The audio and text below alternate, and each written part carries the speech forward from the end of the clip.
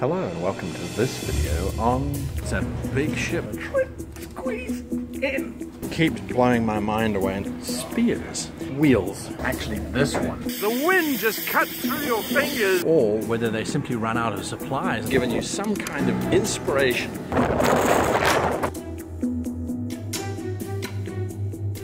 Hamelina. Hämeenlinna. Hamelina. All right. Hämeenlinna. Hämeenlinna. Okay. Yes.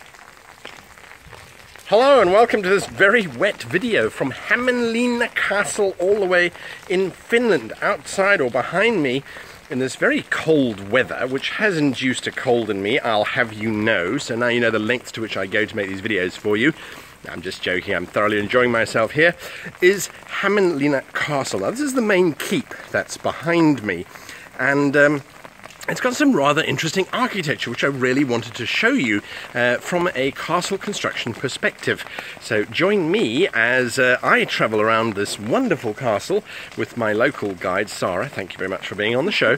And uh, we're going to explore this amazing Finnish castle in the rain. Okay, so now we're in the primary entrance of the keep of the castle. And what I found rather interesting was, apart from the fact that this is just a massive space, you can see that's the main door behind me. And that's the original door, by the way, by the way just this massive, thick thing. But below it is a rather interesting thing. That is the well that would have given water to the castle. And I'm going to walk backwards here so I can fall down into it and become a meme. But all the way down here, oh, there we go. Look at, look at how far down it goes. Now, if that isn't the entrance for an amazing adventure, I don't know what. But this well would have served as the primary entrance area into the keep. And then from here, we travel from there, we walk past the well, and we come out through that entrance there, and we continue deeper into the keep itself. But already, I mean, this first room, we've got windows that look like this behind me here, which is where archers would have lain in wait on the other side so that they could fire arrows through into anyone trying to break in through that door. And just the. Um, the stone is so solid, so robust, and it's just so, so, typical of Finnish architecture to marry these wonderful old red brick stones with this intensely heavy granite uh, to create a really strong but also very beautiful um, foundation and mixture. So that's the well room of Hamelin, Hamen, Hamen, Hamelin, Hamelin, Hamelin Castle. Okay, so this is the inner quad of the keep, and as you can see, it's open to the elements behind me. It's currently undergoing renovation. Oh, thank you for dropping right on me. Um, there's this wonderful walkway that uh, just extends all the way around this keep, and of course, that gives you just such a fantastic opportunity. Oh, there we go, um, to fire arrows down into anyone who's in the central quad. But you know what strikes me as so amazing about this space is it's not very big. I mean, I can imagine knights and soldiers. Let me, let me do this for you. I can imagine knights and soldiers mustering behind me as they prepare to repel invaders. Of course, here you've got barbarians who could potentially be coming from the north. You've got Russians who could be marauding across. And of course, you've got Vikings on the other side of the lake, haven't you? Well, the other side of the sea that could be coming through as well. So this is a mustering area. But if you look up there, if you look at those doorways, there's such a beautiful attention to detail.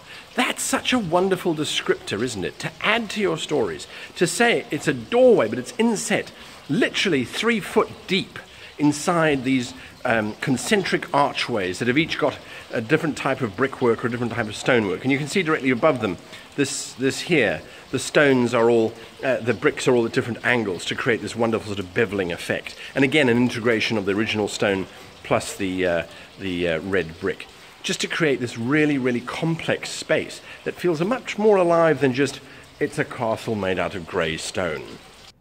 So the castle was built in multiple phases over a period of 700 years, starting in or around 1249 AD, when a certain Jarl moved up north into Finland and claimed this as his territory.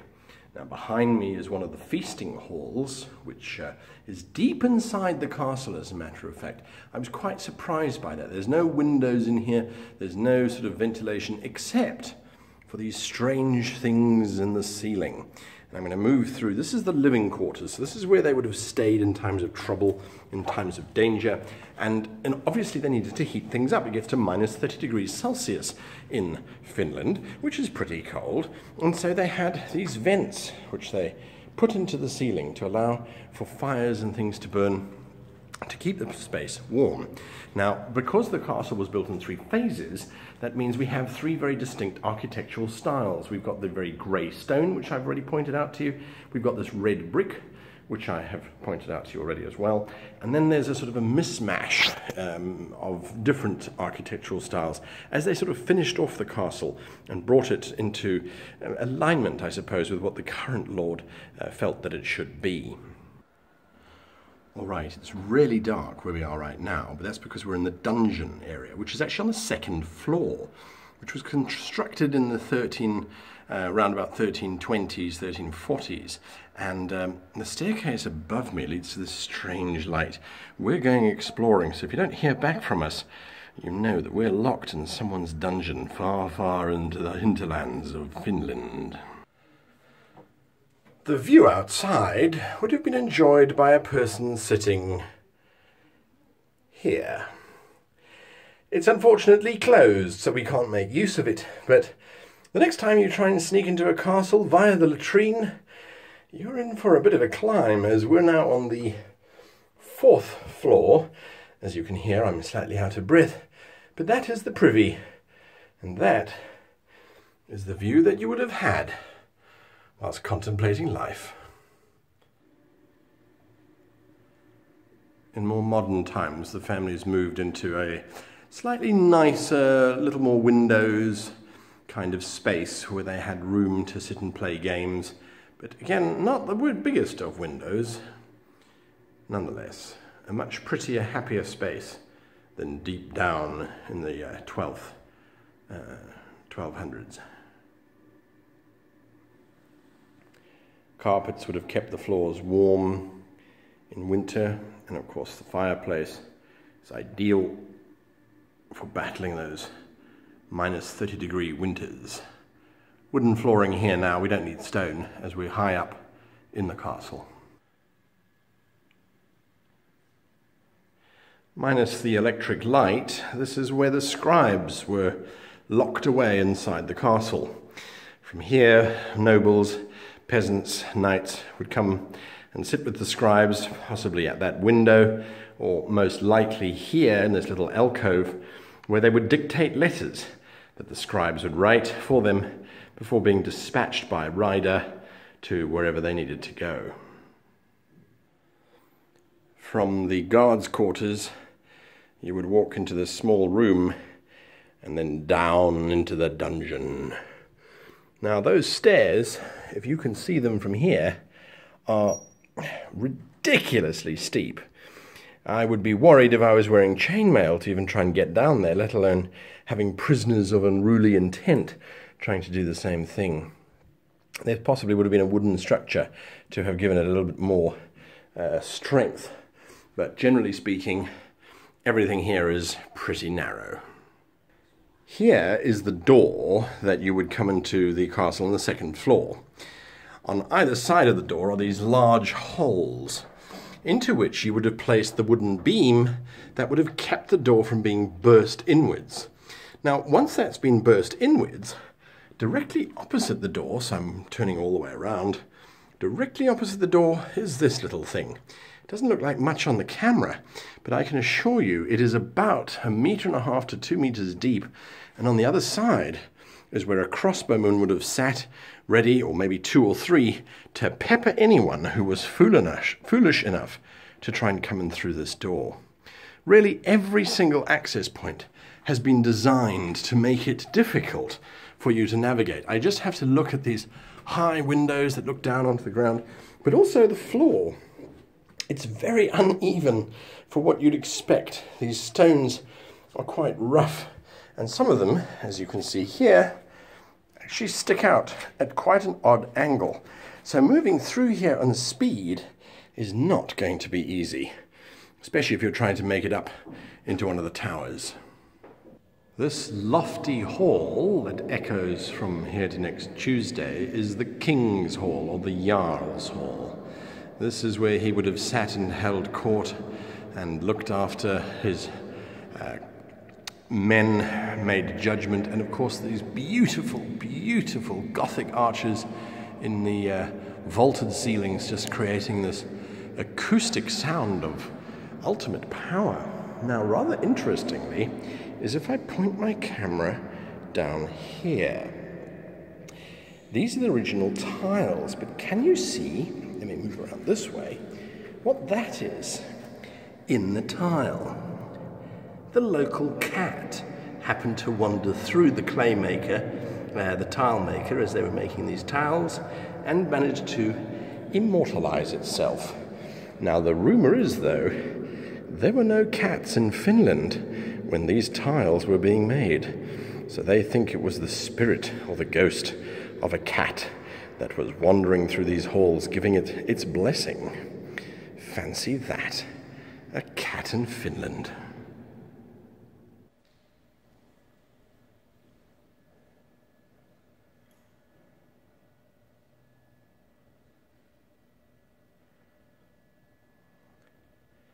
Tapestries like this give us an insight into the colors, the styles of fabric, the uh, style of the day, what men were wearing, what women were wearing, and uh, what was being served for lunch. In this case, suckling pig, I think, with uh, a bread roll on the side. How, how very Atkins of you. So a visit to a castle wouldn't be complete without trying on at least some of the armour. I have to say the helmet actually fits quite well. And I have a remarkable amount of vision around me. The gauntlets I'm a little bit confused on. They obviously you'd be wearing gloves, you'd be wearing chainmail underneath, and then you'd be wearing even more armor underneath that, or leather halberd, halberd, leather jerkin, uh, or a gambeson, depending on how rich you were. But it's actually not bad. There is one thing, however. It's about 15 degrees Celsius outside. And I can tell you, my glasses are fogging up in here. It's really, really warm in this armor. So I think it's the wool cloak, or maybe it's the metal, I don't know. But what better way to experience a castle than to wear the actual armor? And now those stairs that I spoke about. Trying to, trying to walk down those stairs would be mission impossible. Now, of course, that I'm outside once again, having explored the castle, it stopped raining and the sun has come out. But it makes it nonetheless impressive when you look all the way up there and consider that those windows would have been firing arrows down on anyone trying to breach the main keep once they have already, of course, made it through the walls behind me. This castle was used for more than 700 years for various things. Now, of course, it's a spectacular museum. And it just goes to show you that structures can be used and changed and altered over time so that you almost don't recognize that this was once a structure for war. Now, of course, it's a structure for learning and for history. How is that going to change structures in your game? Do you have some castles that have been converted into markets, into other places? That uh, bear testimony to older battles. Well, if you do, your campaign is certainly richer, and if you don't, you have no excuse not to add them now. Anyway, hit that like button if you want to see more of these GM out and abouts. Hit the subscribe button if you enjoyed what you saw today. And uh, remember, there are more videos coming out almost every day now on the channel. So until next time, I wish you and yours the happiest of gaming.